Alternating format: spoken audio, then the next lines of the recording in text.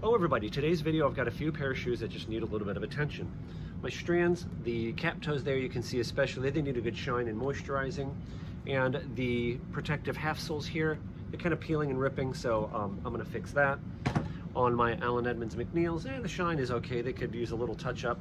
Um, kind of a similar deal here. The protective half soles uh, wearing through and peeling, so I'm gonna replace those. On my Allen Edmonds McAllisters, I think all these need is just the quarter rubber portion of the heel top lift replaced. And if I get ambitious, I'm gonna take my Allen Edmonds Park Avenues and I'm gonna take off these Goodyear rubber protective half soles and replace them just because they're ugly. Okay, so let's go. Hello everybody, it's Robert Powers. Four and a half out of five. My shoe collection. These are made of shell cordovan. Can you tell the difference? Now here they are finished up. I'm not a professional. Look how tight this is though. Very clearly here, I just cut the thread in half. Look at that. See?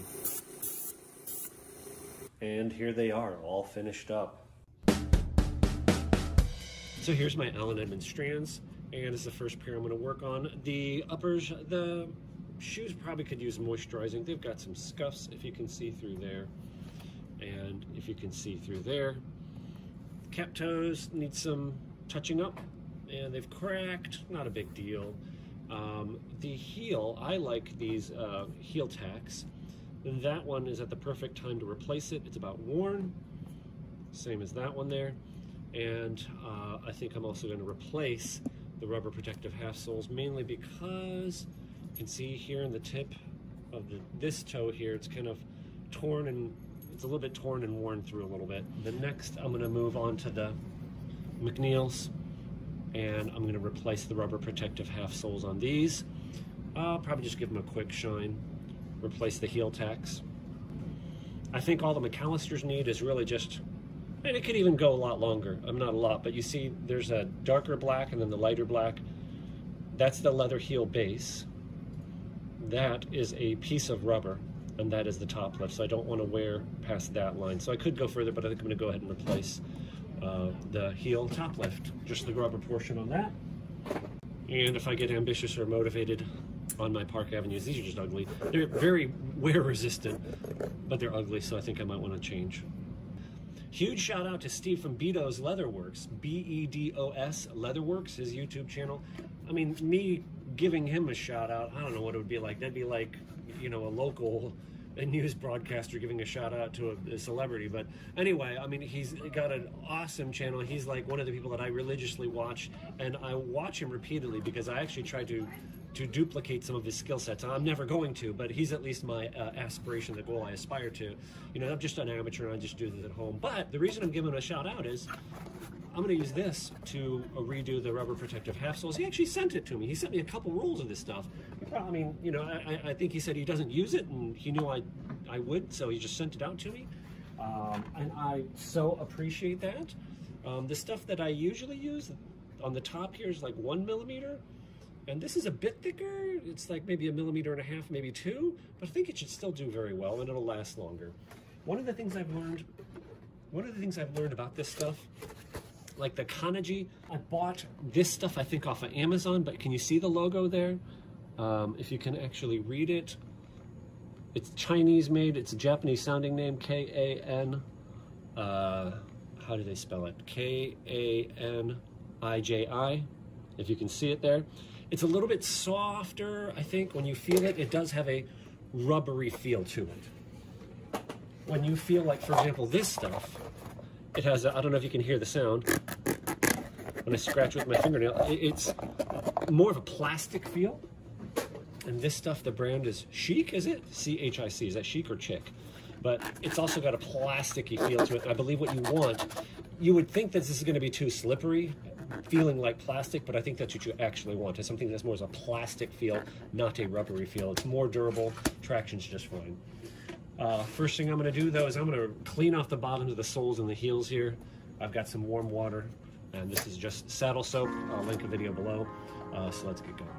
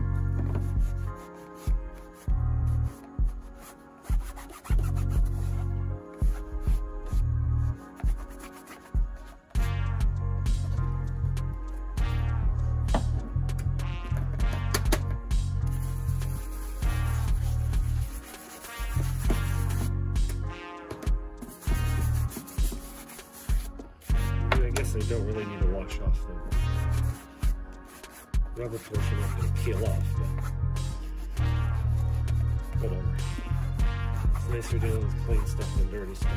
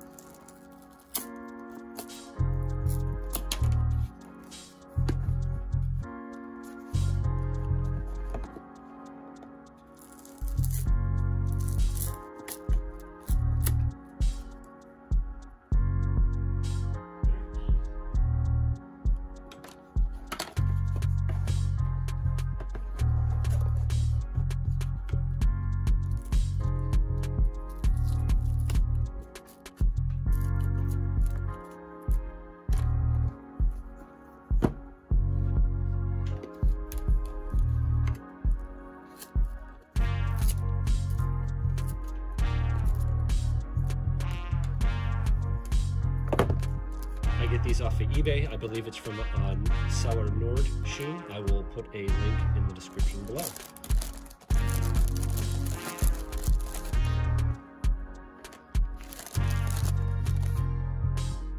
They're adhesive backed. Easiest way to get this old glue off. The old adhesive, they're adhes- adhesive backed. Just roll it off with your finger comes off like a big booger.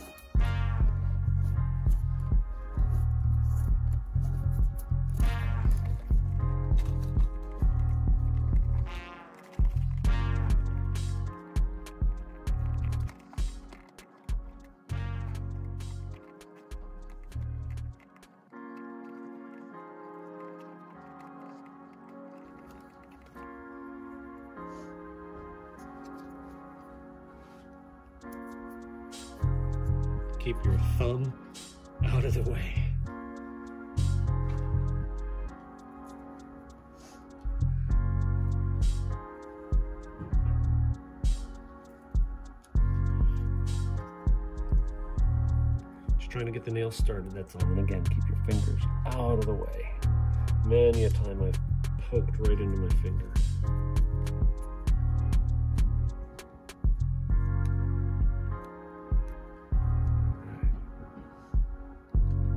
See, just poking out a little bit.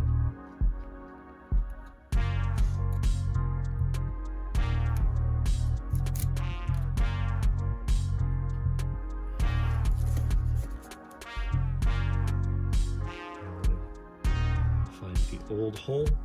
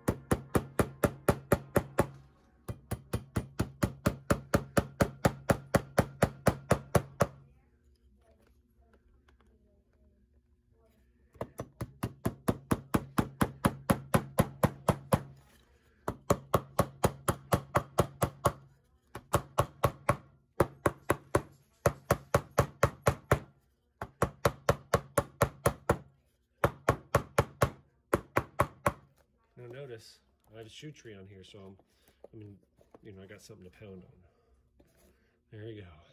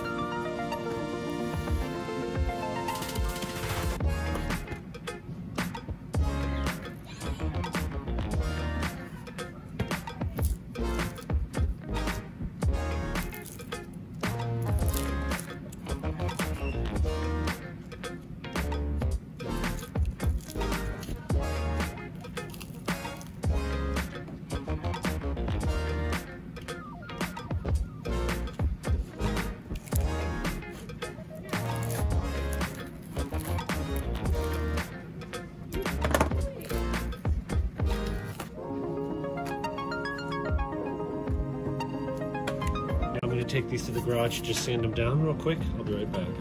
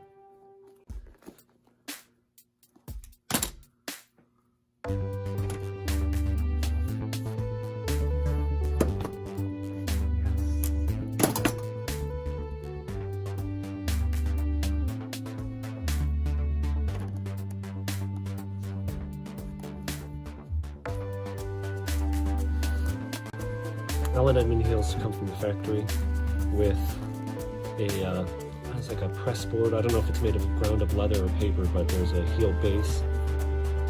Uh, heel base that's made of whatever it is, pressed leather or paper or whatever, uh, particle leather. Then this layer here, which is a piece of rubber. You can see it's about that thick. And then they put the rubber heel on top. So that's what you're seeing there. And then you can see the nails holding the heel base onto the sole.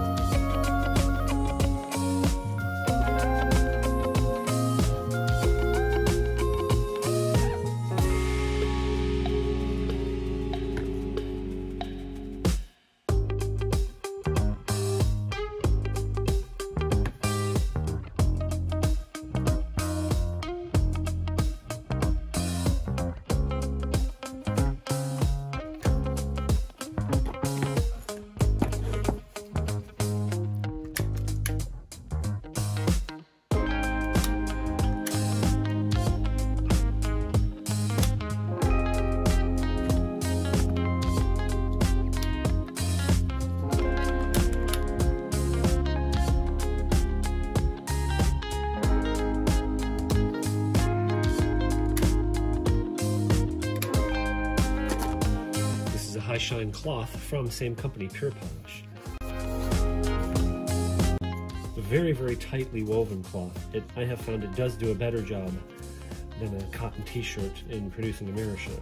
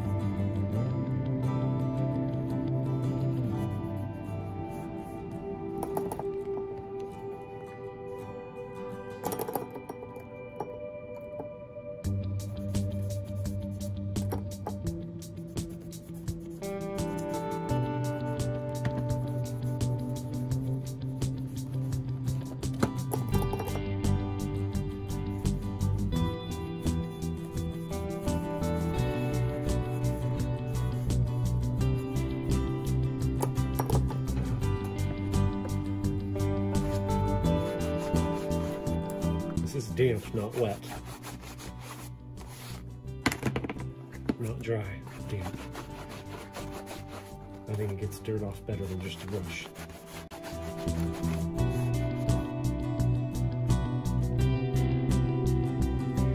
Notice the water drop. This is water resistant. This stuff really works. This has bentonite clay in it. What a lot of um, polishes do, not polishes, but waterproofing products do, um, is they seal off the leather with things like silicones or things like that. This does not. This is bentonite clay in it, which is naturally water resistant and is activated with water. So it lets the leather breathe, believe it or not.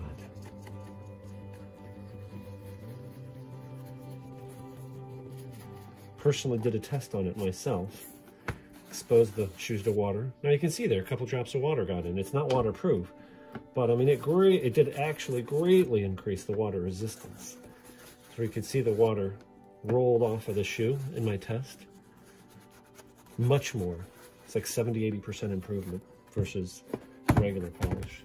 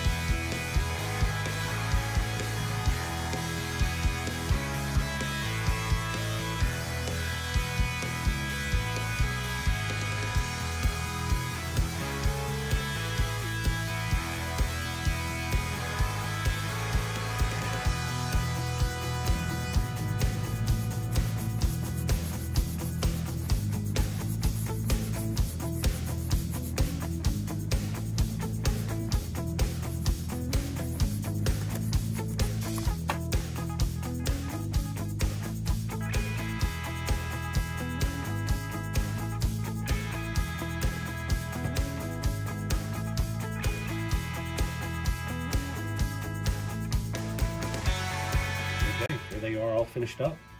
First of all, uh, the soles I took off of the Park Avenues here, not worn through, but yeah, they're getting pretty close. This is the left foot and the ball of the left foot. So I guess the lesson here is when you see those grooves completely gone, probably getting close to the time to need to change them. A little bit of dust on them, but I didn't really even shine the uppers. But they came out pretty nice. What you'll notice though is wherever that protective half sole was, it does kind of indent the leather. I think that's just from the pressure or maybe water over time, so, but I still think that looks nicer, doesn't it? It's not a perfect job, but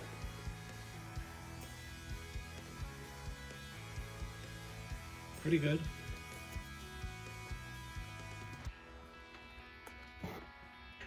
There was one spot, where was it, where I didn't cut them out very well. Well I can't find the spot, so I guess I won't show you.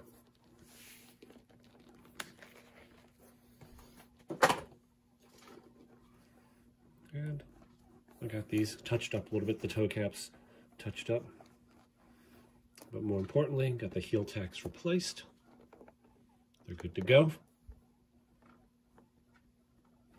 And the new half soles on there came out pretty nice.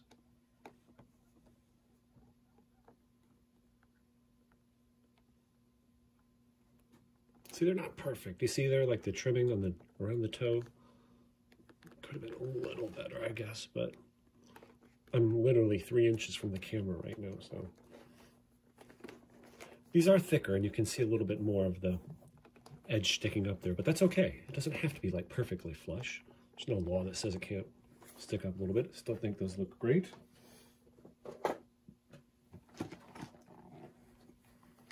McAllister's all shined up. And uh, heels. And I'm a work in progress. That's why I leave that in my ditty. You know, I'm not a professional. But they came out pretty good.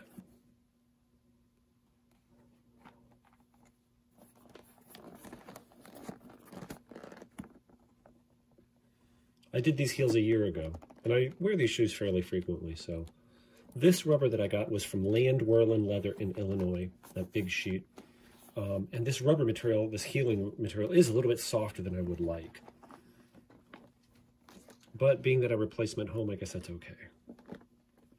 In other words, that rubber is softer than the heels that Allen Edmonds uh, heels are made out of. Oh, and I didn't tie up the laces, but that's okay the strands. I wound up not having to redo the, I did not wind up redoing the rubber. I just, it was actually just not trimmed well and it was sticking out a little bit, so I just trimmed it up and it's fine. Got the edges of the soles uh, shined up a little bit, repaired the spit shine on the toe caps. Heel taps replaced. And these are good to go. Okay, everybody, thank you so much for watching. Feel free to check out my other videos. I've got a whole bunch of videos, mainly centered around men's shoes and cobbling, amateur cobbling. Uh, feel free to subscribe if you feel so, uh, feel so. And God bless you guys have a great day.